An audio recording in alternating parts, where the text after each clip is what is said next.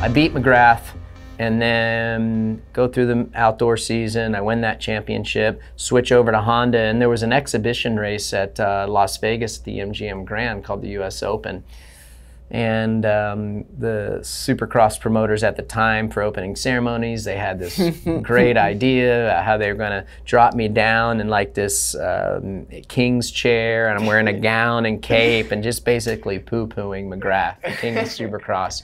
And from that point on, I mean, if they could have thrown rotten tomatoes at me, they probably would have.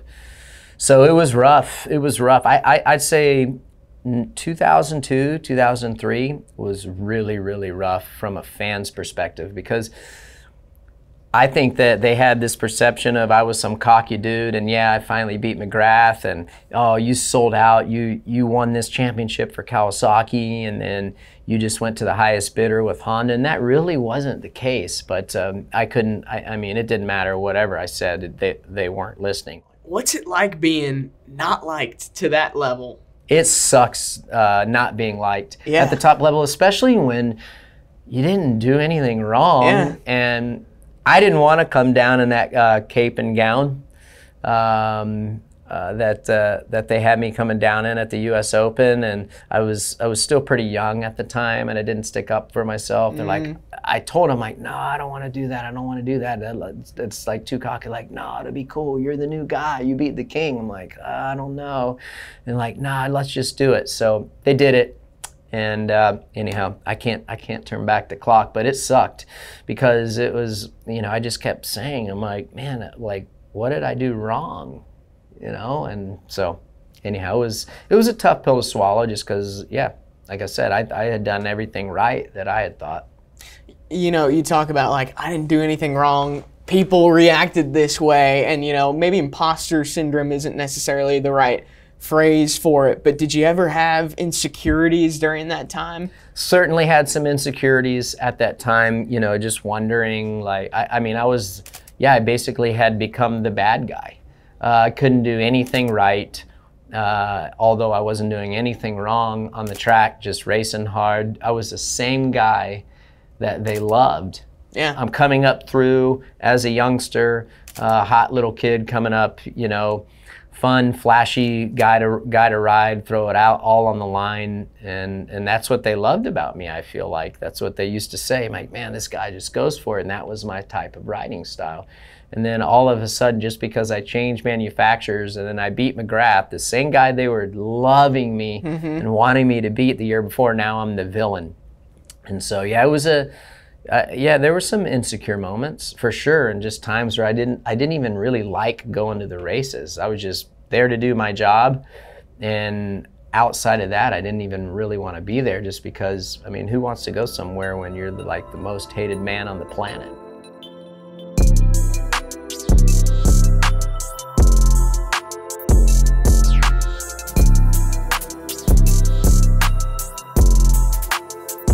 You're racing against him, he's your competitor. Is he a fun guy to be around? no, no, and he, and you know I joke now when we're on we're hanging out now. I'm like, we were in the same race, but we weren't necessarily racing each other. He was just so good, right? And he was a lot better than I was. And yeah, I would line up next to him, but I knew my race wasn't really against him. He was just he was he was too good for that. Um, but yeah, he was the ultimate competitor on and off the bike, mentally he wasn't the nicest person to be around. I think he needed that edge. Um, but he also, I think, there was this air of insecurity about him mm. always. And, and I always laugh because I'm like, why would this guy ever be insecure? Like, he is the best motorcycle racer I've ever seen. But this insecurity about, I'm going to lose, everything I have is going to be taken from me. I am not going to be the guy that I was projected to be. Like, there was always this worry and concern that I think drove him. It drove him to be cold at times, harsh towards his competitors. He didn't have a lot of friends at the racetrack, um, but that's just who he was. And, and I think we respected it. Like I understood where it was coming from, but it didn't make him a lot of fun to be around either. So he had a really tight circle. And if you weren't in that circle, you were you were an enemy. Like there were just there was a really hard line. You're either on his team or off his team.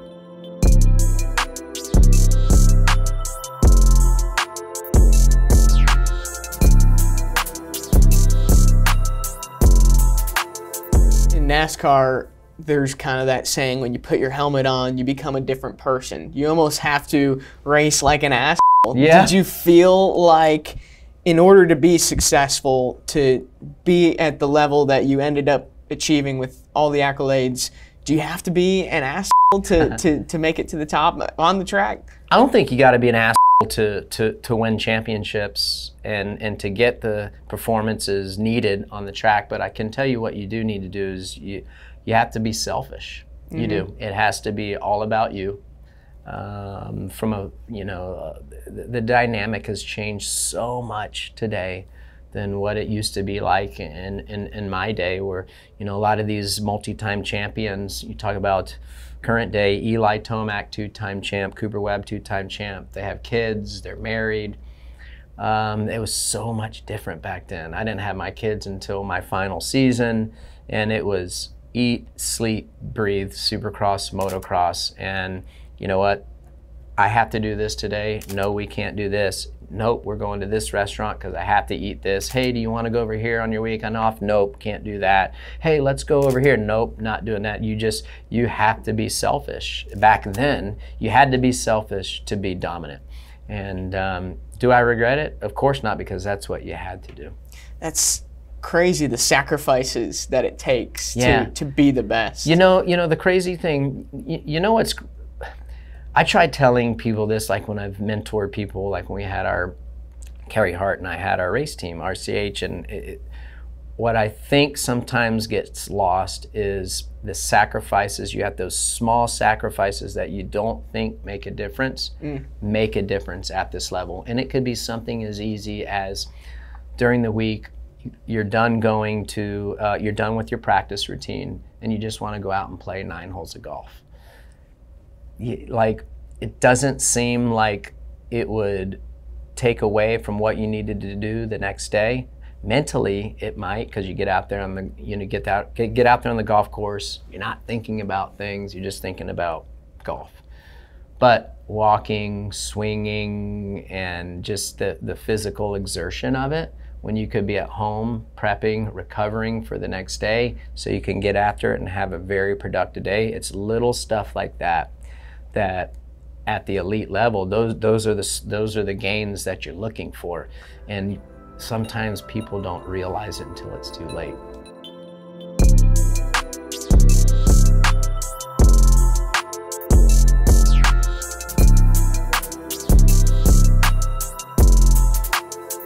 man, you talk about discipline. You have to have the ultimate discipline there, and, and how it sounds exhausting just hearing about all those sacrifices. Was it exhausting being in that zone for so long? it was it was really exhausting mentally mentally taxing being in that zone for so many years i remember like after each season as soon as that last race was done physically i'm like i felt the same the, the week after the day after but mentally i felt so good and you didn't realize how mentally taxing it was just being on and, and being that disciplined until you didn't have to be that disciplined, you know, for, for however much downtime you were going to take off after the season.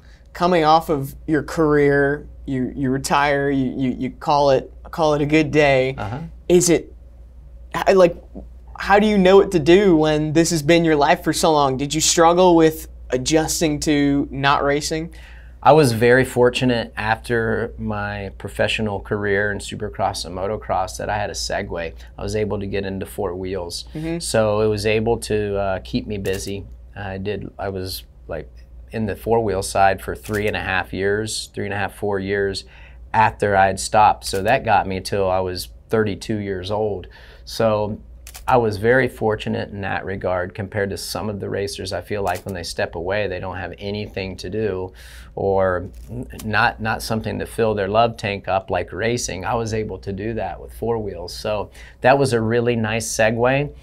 Um, so I can't, I, it's so hard for me to speak on it wasn't hard for me to walk away because I had that filler. If I didn't have that filler, maybe we would we'd be talking about a different story. Yeah. But uh, you know, some of that was by design. I was getting offers to and, and opportunities towards the tail end of my career to do the four wheel stuff, and I think maybe W- Was that the reason why I exited early? No, but um, it certainly was nice knowing that I had a fallback plan and I wasn't just going to be sitting at home on the couch twiddling my thumbs.